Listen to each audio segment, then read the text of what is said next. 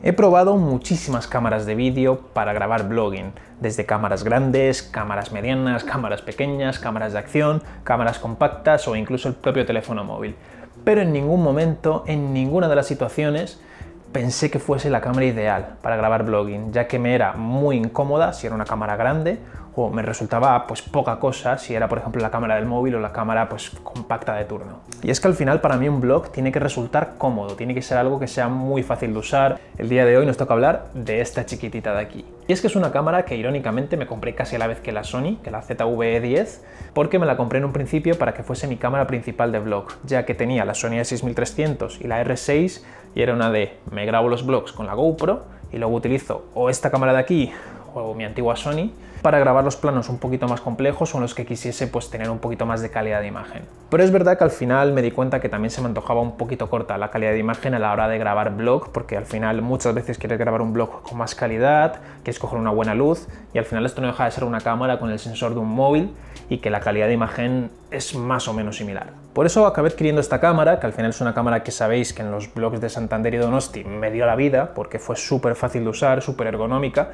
y la calidad de imagen que me dio fue espectacular. Pero entiendo que hay gente, porque yo me he visto en esa situación, que no se puede permitir obviamente tener dos cámaras solo para blog, que es para lo que yo tengo esto. Y eso me llevó a pensar que el tiempo que estoy utilizando la GoPro únicamente como cámara de blogging, realmente es una cámara que se puede aprovechar mucho. Ahora mismo lo utilizo como segunda cámara, como segunda unidad, cámara para plenos recursos, o blogging un poquito más rápido en los que necesito hablar un momento y cortar, y no tener que ponerme a sacar esta cámara, configurarla y todo.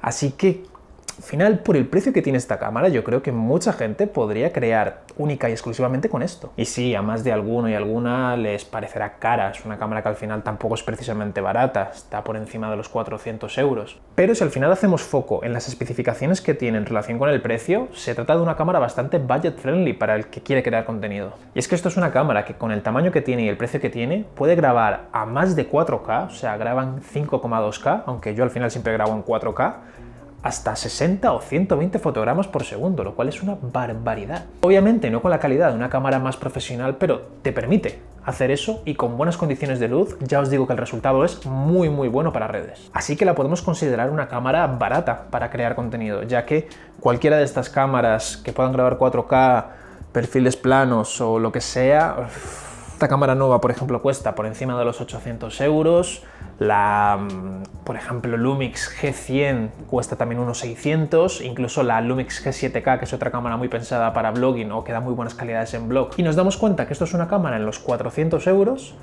pues al final igual es a considerar un buen producto para grabar contenido. Así que teniendo en cuenta que me voy a ir de viaje a Barcelona, me voy otra vez de vacaciones, voy a grabar única y exclusivamente todo el trayecto de ida con la GoPro, para que veáis que al final se puede crear un contenido muy muy bueno con muy buena calidad de imagen con esta cámara. Así que sin más dilación, vamos con el blog.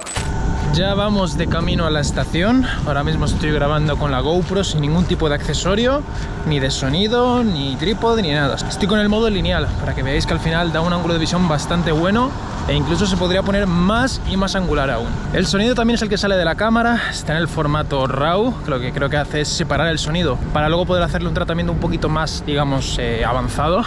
Y la verdad que ya en los blogs de Santander y Donosti se escuchaba muy bien sin ningún tratamiento y ahora imagino que se escuchará aún mejor.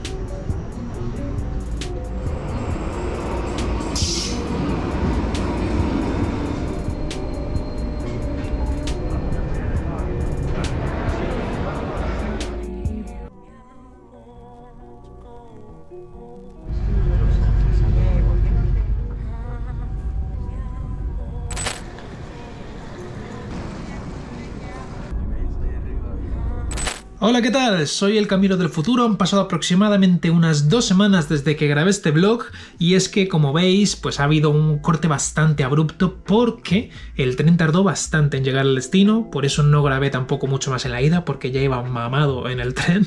Así que decidí seguir grabando a lo largo del viaje, pues más cositas con la GoPro para poder, pues eso, condimentar un poquito más este vídeo. También quería comentar que lo, lo iba a hacer y al final creo que no lo hice en el blog, que como veis la cámara durante el día graba muy bien, pero de noche al final se le atraganta un poquito la imagen, porque de hecho voy a dejar por aquí un plano que grabé en movimiento, donde veis que el estabilizador digital funciona realmente mal, crea una sensación como pues eso, de que bota la imagen, que es muy común en los teléfonos móviles, así que si usáis la GoPro de noche, intentad sobre todo utilizar planos estáticos, no planos en movimiento.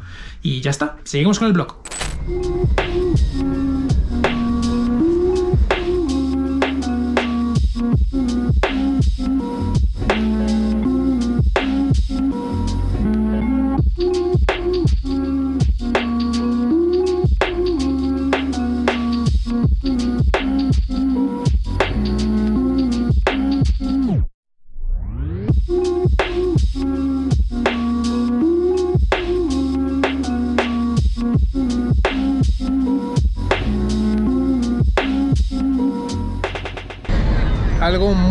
Que tiene la GoPro es el Hyper Smooth, es decir, la estabilización digital. Y es que como habéis visto en los clips anteriores, he estado grabando todo básicamente moviéndome. Y es que aunque suene mal, te permite tener tomas muy estables con muy poco esfuerzo. Eso para momentos como ahora que venía repleto de gente por el paso de la Rambla, pues te permite sacar la cámara, grabar prácticamente sin pararte y conseguir tomas muy buenas y muy estables. Así que sería mejor poder pararme, grabar con una cámara en condiciones, pero si es verdad que para estos momentos que quieres tener un plano recurso o algo, es maravilloso.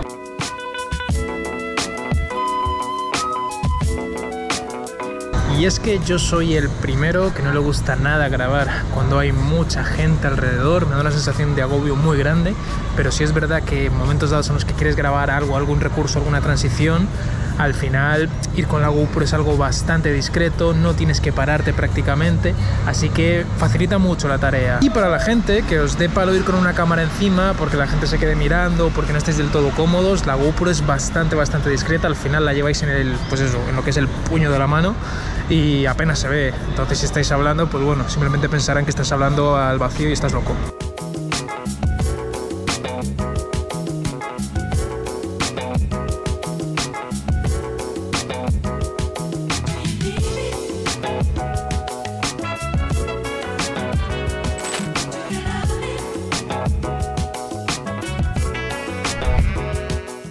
Ayer al final bajó la luz bastante rápido, no es como en Madrid que las 9 sigue siendo de día, así que paré la grabación. Y nada, estamos por aquí hoy en Castel de Fers. Castel de Fels, porque vamos a ir a la playa. Acabo de cambiar del modo lineal al modo gran angular, por eso veis una imagen mucho más amplia en la que cabe todo en el cuadro.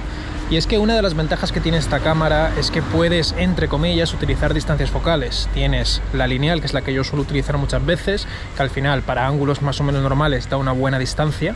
Y luego este gran angular, que yo creo que para blogging es el mejor de todos, aunque sí es verdad que deforma un poquito. Pero vaya, nada que no se pueda corregir luego en edición. Luego, aparte de estos modos, hay un modo llamado Super View, que es más angular aún, el cual no soy muy fan, ya que para mi gusto sí deforma demasiado, e incluso luego cuando lo corriges no queda del todo bien.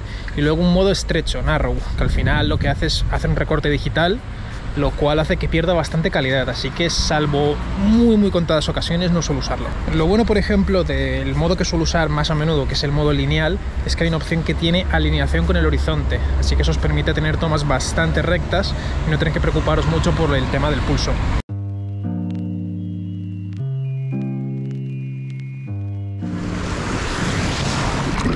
Desde luego que no tiene nada, nada que ver el agua del norte con el agua de aquí. Está caliente y todo. Algo que os permite hacer la GoPro desde las 7 hasta la de ahora, hasta la número 10, aunque yo tengo la 9, es que son estancas, por tanto, sin necesidad de comprar carcasa ni nada, nos podemos meter en el agua con ella. Y es algo que, bueno, ninguna cámara DSLR, reflex, sin espejo, cualquiera, creo que os atreveréis a meter en el agua así tal cual, aunque tuviese una fonda. Así que, aunque es algo que, bueno, al final es un detalle sin importancia, o es un detalle que a muchos os dará igual, al final es un punto extra, el poder estar aquí metido en el agua y poder estar bloqueando. Algo que también está bastante bien en esta cámara es que por lo menos a mí no me ha hecho falta ningún tipo de filtro ND. Obviamente se le pueden acoplar, los venden y son filtros que darán evidentemente una luz un poquito más bonita.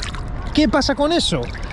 Que al final hablamos de una GoPro, es una cámara que yo creo que tampoco se puede tener la pretensión de que se vea como una cámara profesional, así que ahora mismo estoy grabando sin ningún tipo de filtro ND y como ves la imagen, pues bueno, se ve un pelín más quemada, un poquito más sobreexpuesta, pero tampoco es dramático. Bueno, me he puesto a caminar como lo hago normalmente y me estoy yendo al fondo y como que cuesta respirar, hablar e intentar mantenerte flotando. Que como iba diciendo, es una cámara que al final tiene una opción para poder compensar la exposición, lo que nos permite evidentemente si hay mucha luz bajarla un poquito y que la imagen se vea un poquito mejor. Algo de lo que estoy gratamente sorprendido con esta cámara es con el micro que tiene, porque ahora mismo me veis que estoy hablando, hay ruido del agua y obviamente no es perfecto, pero al final es una cámara que bueno, tenéis opciones como el Media Mode o micrófonos externos que se le pueden enchufar vía USB tipo C, pero yo creo que para esta cámara para el uso que le puedes dar, si la vas a utilizar muy a menudo como cámara principal de blogging, a lo mejor te merece la pena comprar un micro, pero si no, yo creo que es más que suficiente el que trae integrado, luego tocas un poquito en Premiere el sonido y es más que suficiente.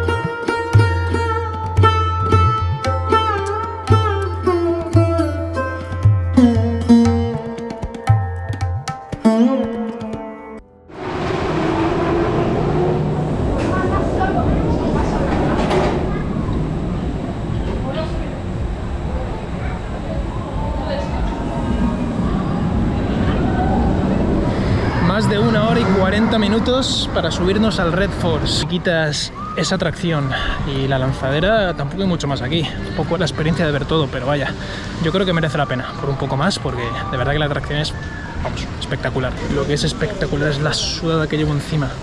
De verdad, me estoy asando vivo. Parece que estoy asustado y que no lo estoy pasando bien, pero nada más lejos de la realidad.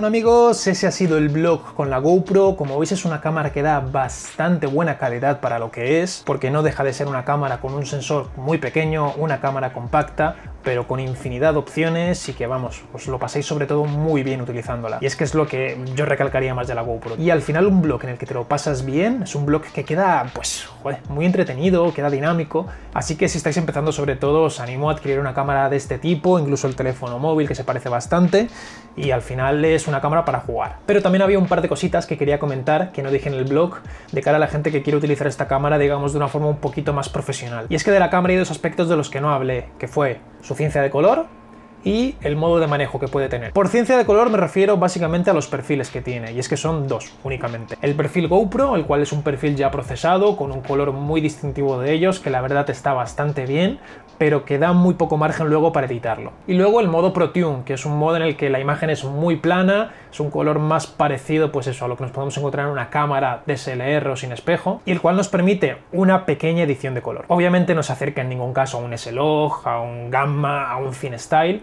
pero bueno, le puedes llegar a dar un look más propio. Y es lo que yo hago. Yo grabo con R6, grabo con Sony ZV-10, grabo con GoPro y a las tres les tengo un look que parte de la misma base, pero adaptado a cada cámara. Y con eso consigo que mis vídeos tengan, pues eso, una calidad de color más o menos homogénea. Y ya para terminar este vídeo, que si no se va a hacer muy largo, el resumen es, ¿vale la pena una GoPro como una cámara de vlogging?